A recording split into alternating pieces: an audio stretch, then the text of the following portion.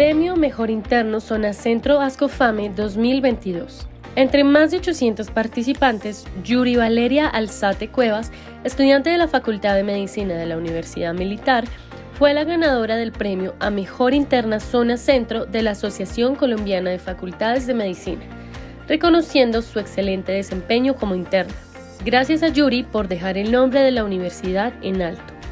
El premio de Mejor Interno de Ascofame es un premio que tiene 30 años ya de historia, que consiste en postular a diferentes internos de las facultades de medicina que hacen parte de ASCOFAME, que es la Asociación Colombiana de Facultades de Medicina, y los hace participar por prueba de hoja de vida, una calificación que la facultad envía a tu nombre, un examen escrito y un examen práctico. Y de todos esos pasos se obtiene un ganador por cada región y pues afortunadamente este año fui yo.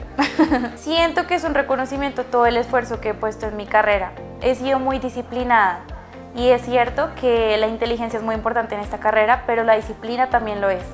Entonces, pues creo que gracias a este premio se vio reconocida mi disciplina, he sido muy disciplinada.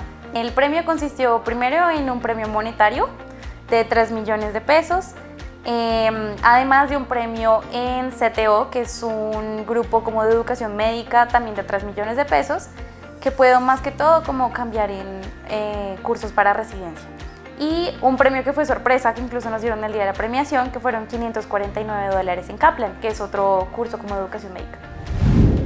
Segunda competencia nacional de vehículos de tracción eléctrica. Estudiantes de ingeniería en mecatrónica asistieron a la competencia de vehículos de tracción eléctrica que se realizó en la Universidad Nacional.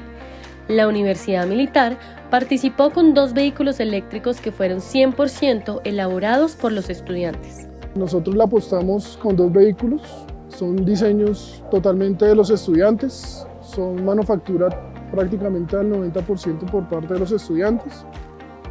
Llevamos trabajando desde enero del 2021, entonces eh, el proyecto comenzó a, desarrollarse durante la pandemia, toda la, toda la etapa de diseño, y la manufactura se comenzó a trabajar a mediados de mayo del 2021.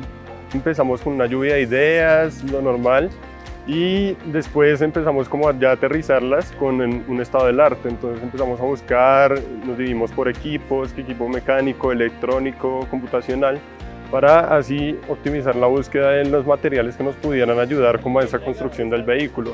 Entonces pues ya después de esa investigación eh, empezamos a realizar como simulaciones en software CAD, en simulaciones en software de electrónica. Y pues en la medida que íbamos avanzando ya íbamos eh, generando como ciertos activos o ciertas metas en términos de construcciones. Entonces empezamos primero con el tema de la batería, que es el, como el corazón de los vehículos. Nuestros vehículos están diseñados bajo el parámetro del Concurso Nacional de Vehículos de Transmisión Eléctrica y eh, el de mi equipo, que es Mili Racing, también está diseñado bajo los parámetros de EcoShell, que es una competencia a nivel internacional también de universidades. La idea de estos vehículos fue medirnos como mecatrónicos, eh, juntar todas nuestras capacidades, ya que no es solo el diseño mecánico del vehículo, sino el diseño eléctrico, también el diseño de las bases de datos donde adquirimos los datos de velocidad, potencia consumida y todo eso. Premio Alberto Sarria Molina fue otorgado a integrantes de la Universidad Militar Nueva Granada la Asociación Colombiana de Ingeniería Sísmica entregó un reconocimiento al ingeniero Juan Diego Vargas Mendoza, quien fue el ganador del concurso nacional de trabajos de grado Alberto Sarria Molina en la modalidad de pregrado sobre temas de ingeniería estructural, sísmica y geotécnica. Este trabajo fue realizado bajo la dirección del profesor Julián Carrillo León en el grupo de investigación de estructuras y sísmica del programa de ingeniería civil de la universidad.